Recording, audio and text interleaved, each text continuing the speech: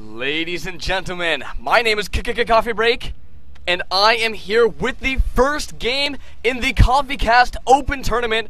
I am absolutely stoked to be bringing these games to you guys tonight. I have been looking forward this to for since I planned it for about a month now.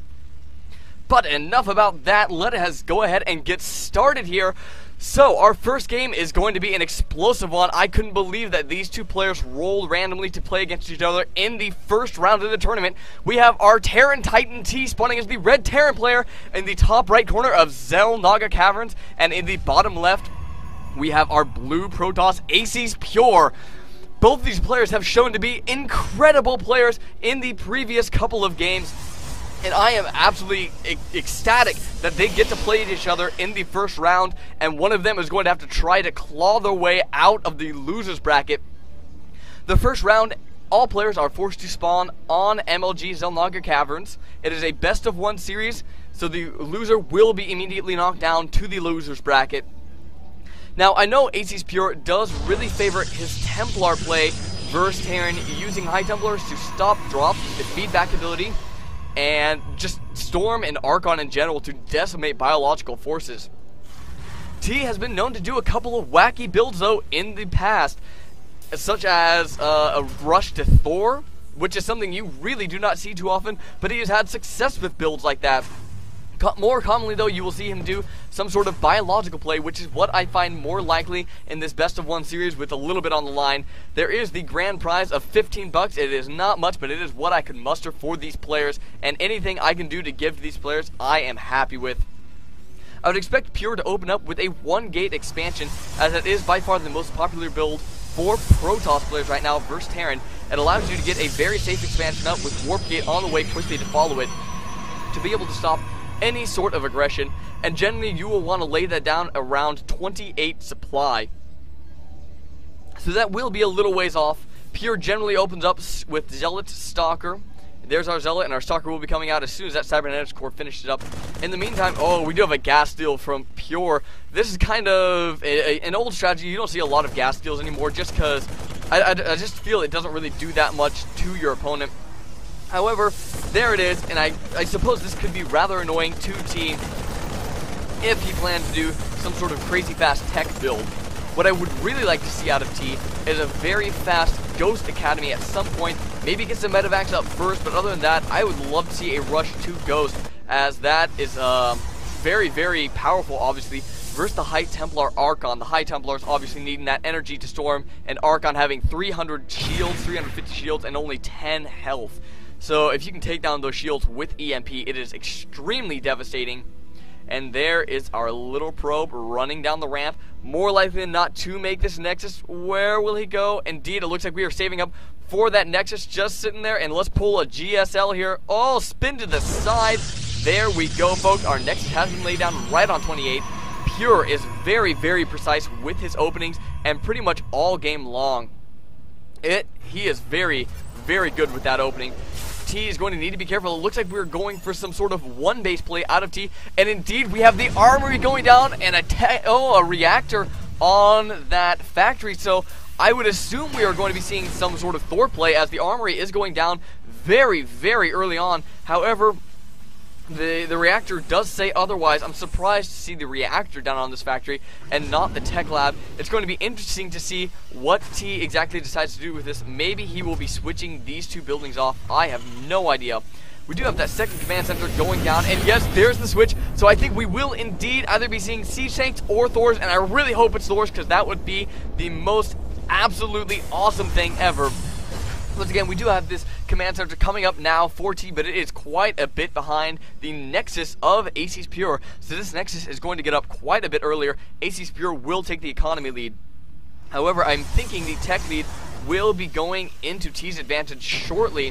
What do we have going on here? Yes, indeed, we have a Thor on the way. The supply depot has finished up, so we are seeing a Thor rush out of T. And oh my goodness, that is such a rare thing to see. But he is going for the element of surprise, really hoping to catch Aces Pure off guard. Just needs to make sure to take the watchtowers so that Aces Pure does not have a chance to see this. However, Pure looks like he's getting ready to move out with a little bit of an army. If he is able to push up this ramp, T's strategy could be revealed. And really, T does not have all that much left back to defend, even salvaging those two bunkers previously. But no, Pure will be falling back. Just wanted to push up and make sure the watchtower was not taken by T and we'll continue on macroing up. Very very heavy macro right now using a lot of chrono boost on probe and not much on anything else. The robotics facility is down but really you do actually want templars to be able to counter the thors because the thors have that energy. Is there a thor out right now? There is there are three starports on the way. He canceled the Thor at some point in time and decided to lay down three starports instead. T has me totally guessing what he is trying to do. Supply lead heavily, heavily favoring AC's Pure right now. I am absolutely confounded right now as to what T is going to do, but for now, we will just have to trust him as we really don't have any true information out of him. There is a tech lab going down on this first starport. Two more starports sitting around over here. No add-ons on that yet. However, there is an observer that is just finishing up from this robotics facility. T has to make sure this is not scouted because this has got to be an element of surprise type of build. The Thor has been restarted. That another tech lab is going down on the second starport. However, once again, if this observer does make it into the base, Aces Pure is going to be, well, A, as confused as I am, but B, know every single structure that is down on the map. I'm trying to figure out what exactly the point of this starport is. I'm guessing it might be to get a Raven to get that point defense drone, which stops any incoming projectile missile attack from the enemy, which in this case would include the Stalker that would be most used to counter the Thors. But no, there is a Banshee on the way for maybe a little bit of extra ground support. That Observer is in the base, and we'll see the Thor now. I wouldn't be surprised. There is an Immortal starting immediately. That is exactly what I was going for. An Immortal has started, which is pretty much a direct counter to the Thor, doing 50 damage to armor units, which is exactly what he needs to counter the Thor. However, the expansion 4T is now up a heavy, heavy supply lead for Pure in this early game, though, just now reaching the 10 minute mark, 82 to 54 supply. We are currently at 45 to 30 harvesters, T quite a bit behind in that category, and even with mules, is not quite able to keep up right there in the income tab. We do have a third tech lab though coming down on this starport. I don't know if AC Pure saw all the tech labs going down. He didn't see a single starport going down, so he is completely in the dark about any sort of Banshee play that may be emerging in this game.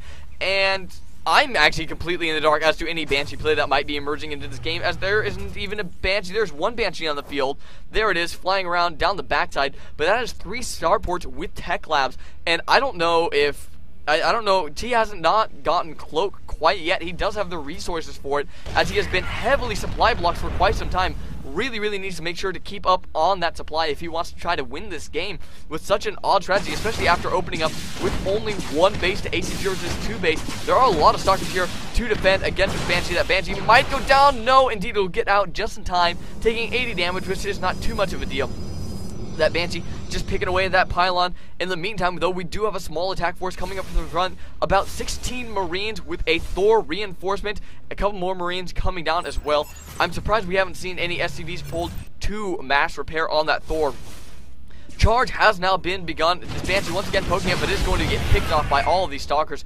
Good positioning by Aces Pure to be able to pick those off properly. And now T trying to move up, but there is just absolutely too much here for Aces Pure. T is going to have to fall back with all haste, but no, he turns around and engages for some reason. This Thor is not going to be able to do the damage it needs to be able to kill off this armor for Aces Pure. T needs to run all the way home, but no, he's going to lose that Thor instead to the Immortal Fire.